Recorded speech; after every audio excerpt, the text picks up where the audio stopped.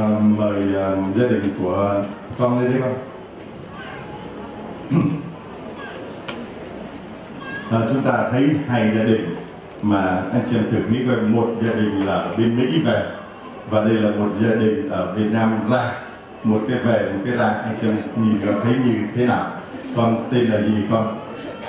Con tên là Bà Lách ạ. con người Việt Nam mà con con kia nó nó nó, nó bên Mỹ về mà nó tên là Nga còn con ở Việt Nam mà con lại tên Mỹ là sao tên Mỹ Con tên là ạ. con người con người gì Con người dân tộc ạ. à dân tộc gì Dân tộc Gia Rai. à đây là dân tộc Gia Lai Gia Lai Gia Rai dân tộc Gia Rai tên là Bờ Lát con ờ, con tên là gì Berlin thì Bờ Lát với thì Ly rồi năm nay con ờ, năm nay bao nhiêu tuổi dạ thật sự thì con không biết là bao nhiêu con không biết là con bao nhiêu tuổi con đã biết là đây là đây là gì của con Dạ đây là chồng con ạ. Chồng con 30 tuổi. Con thì 26. còn ờ, con được mấy đứa Dạ con được hai đứa. Đứa thứ nhất là con trai là 9 tuổi rồi. Còn đứa thứ hai đây 3 tuổi. còn 26 tuổi mà có đứa con trai tới 9 tuổi vậy là con bắt đầu yêu nhau từ năm mấy tuổi 19 tuổi.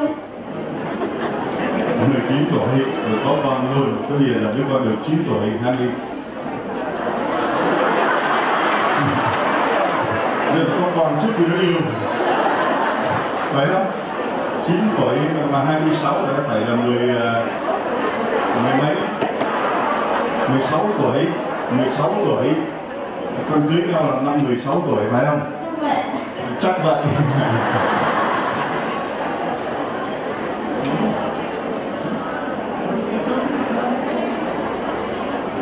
Đúng không? À, thưa anh chị em, là giờ à, chồng của con đây là bị làm sao đây con chia sẻ cho mọi người nghe. Dạ con chồng chồng con là bị con bò xít lở đai và mắt lên bị mù ạ. À, hiểu không? À, chồng của chị ấy bị con bọ xít nó đánh vào mắt cho nên là bị mù, bị lâu chưa con? Dạ bốn năm rồi.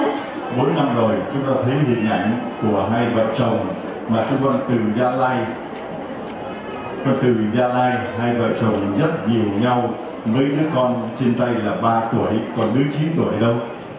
Ở nhà bà nội ạ. ở nhà bà nội thương chị em đấy chúng ta vừa thấy hình ảnh lúc nãy người mẹ bên Mỹ về với đứa con nó như thế nào? Còn đây là hai vợ chồng ờm, yêu nhau từ năm 16 tuổi và bây giờ có hai đứa con, và bây giờ thì anh chồng là bị bọ xít nó đái vào mắt và bị mù. Và bây giờ hai vợ chồng rất díu nhau cùng với đứa con đến đây.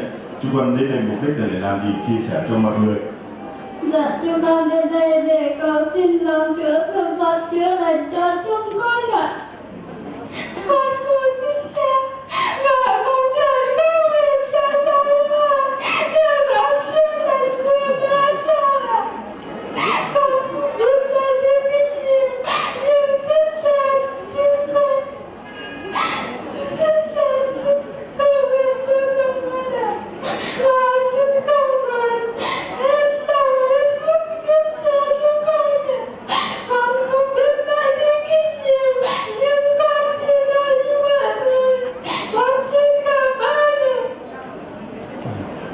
Tôi chỉ với một mục đích duy nhất là dắt chồng mình vào đây để xin cha và cộng đoàn cầu nguyện cho chồng của mình được ờ, khỏi bệnh ờ, mà bây giờ là do bọ xít nó đá vào mắt mà không còn thấy đường nữa. uhm, ai giới thiệu con đến với các điểm tin mừng này để con biết đến đây? Dạ có người ban chợ quan con Có người tình kinh những con người kinh ban quan ở rồi sao mà con dắt chồng con ngủ rồi cái đứa bé này có 3 tuổi mà sao con vừa một tay dắt chồng tay bế con con đến đây bằng cách nào? Dạ con mua vé xe từ miền đông ở gia lai đến miền đông ở sài gòn ạ. Rồi sao con biết được con vô đây? Dạ con đón xe buýt nữa hai chuyến xe buýt nên mới tới đây à, thưa anh chị em tưởng tượng coi một tay phải thì rất chồng mù, tay trái thì bế đứa con 3 tuổi. Từ mãi ngoài Gia Lai đi xe đò, rồi đến bến xe miền Đông, đón hai chuyến xe buýt để đến với giáo điểm tin mừng chúng ta thấy đây là những con người mà đánh động vào trái tim của Chúa nhé. Những con người mà họ lặn lội tìm đến với lòng thương xót của Chúa. Và Chúa nói rằng, ai tin vào ta thì có sự sống. Mặc dù con mắt của anh ấy thì tối, không nhìn thấy, nhưng mà mắt tâm hồn của anh ấy đã sáng rồi. Mặc dù chị ấy là người đang rất trầu đi ở trong bóng tối, nhưng tâm hồn của họ đã sáng rồi. Vì họ đã lặn lội đến đây, họ tìm kiếm Chúa. Họ tín thác vào Chúa, họ tin tưởng vào Chúa. Con đến đây là mấy ngày rồi? Dạ được 6 ngày rồi. Rồi con đến đây là 6 ngày rồi con ở đâu? Con ở nhà bạn Trọ nhà ba. Đến đây ở nhà trọ 6 ngày rồi rồi con tính ở đây đến bao giờ? Con chưa biết. Rồi con đợi đến đâu mà con sống? Con không biết ạ.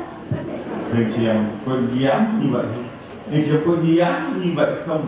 Tín thác con không biết là con ở đây đến bao giờ và cũng không biết là lấy gì mà con sống nhưng mà con vẫn tín thác vào lòng thương xót Chúa để con đến đây.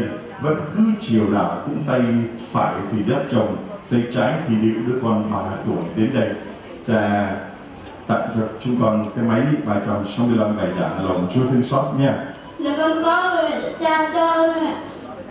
Cha đã cho con rồi vậy bây giờ con muốn tặng cái máy này cho ai ở trong làng của con? Dạ cho Con muốn tặng cho ông rồi Ông rồi con không có đạo. Ạ ông nội con không có đạo. Con có đạo không?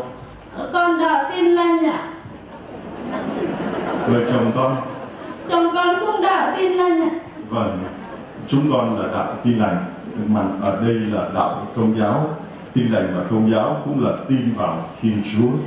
Và điều quan trọng là trong đạo công giáo chúng tôi có đức mẹ là mẹ của thiên chúa trong đạo công giáo, chúng tôi tin vào đức giêsu kitô và tin vào Đức Giêsu đã trao quyền ấy cho đấng sáng lập, cho người kế vị là Đức Thánh là ông Thánh Phêrô và sau này là các giáo hoàng.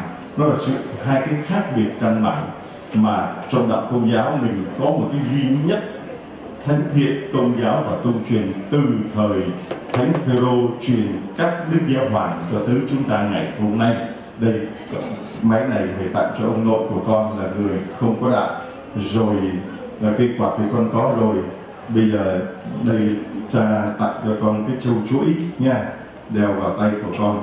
Rồi, cuốn sách tâm thư lòng nhân hậu à lúc nãy cha chưa gửi cho cô bên mỹ cô này đúng không? Đây gửi cho cô nữa, để cô ờ, về cô đi vinh sang mỹ, cô làm tuần kiểu nhật tiếng lòng chúa thương xót nha. Đây là cuốn sách tâm thư lòng nhân hậu xin chúa chúc lành cho chúng con. Rồi bây giờ chúng con lại rất dịu nhau đi xuống.